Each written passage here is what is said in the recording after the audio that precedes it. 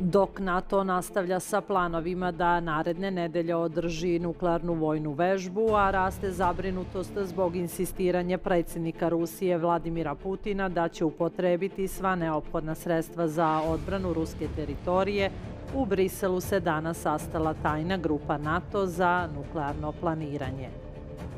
Ministri odbrane država članica vodili su današnju sednicu koja se obično održava jednom ili dva puta godišnje u sedištu NATO-a u Briselu. Sastanak se održava u vreme visoke napetosti jer neki saveznici iz NATO saveza, predvođeni Sjedinjenim američkim državama, snadbevaju Ukrajinu naprednim oružijem i municijom kako bi se branila od ruskih vazdušnih napada. NATO oprezno prati ruske pokrete, ali do sada nije uočena nikakva promena u njenim nuklearnim položajima. Dodatna neizvesnost proizilazi iz činjenice da bi Rusija uskoro trebalo da održi sobstvene nuklearne vežbe, moguće u isto vreme kada i NATO, ali neposredno nakon toga navode NATO diplomate. Ministar odbrane Velike Britanije Ben Wallace izjavio je da će NATO izvesti rutinsku vojnu vežbu i da se sve svodi na spremnost i gotovost, te da nisu poželjni manevri koji su van te rutine. Sastanak NATO usmeren je na to da budemo sigurni da smo spremni na sve. Mislim, to je posao ovog saveza da osigura da 30 partnera zajedno budu spremni za sve što nam se servira. Na tome moramo da nastavimo, da radimo, rekao je on.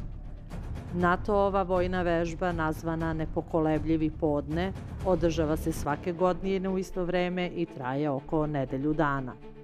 Ona predviđa angažovanje borbenih aviona koji mogu da nose nuklearne bojeve glave, ali ne i upotrebu pravih bombi. U vežbi učestvuju i druge vazduhoplovne snage. 14 od 30 država članica NATO-a biće uključeno u vežbu planiranu pre napada Rusije na Ukrajinu u februaru. Glavni deo manevara biće na više od 1000 km od Rusije, rekao je jedan zvaničnik NATO-a.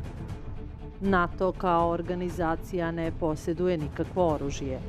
Nuklearno oružje koje se nominalno povezuje sa alijansom ostaje pod čvrstom kontrolom tri zemlje članice – Sjedinjenih američkih država, Velike Britanije i Francuske koja insistira na nuklearnoj nezavisnosti i ne učestvuje na sastancima grupe za nuklearno planiranje.